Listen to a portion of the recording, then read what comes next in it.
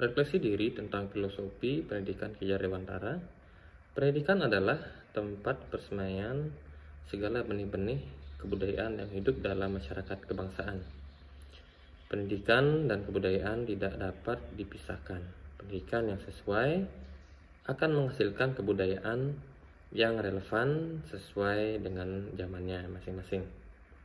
Inti dari filsafat pendidikan Ki Dewantara adalah tentang Perubahan peradaban dalam pemeliharaan kebudayaan harus terus bergerak sesuai dengan kodratnya masing-masing, kodrat alamnya masing-masing. Tidak boleh berhenti, demikian juga pendidikan.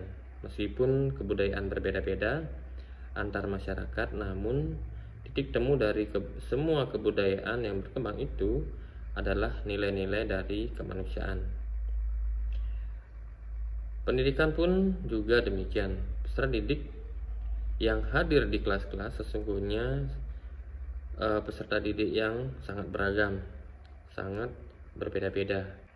Biarkan mereka bergerak sesuai dengan kemampuan mereka masing-masing.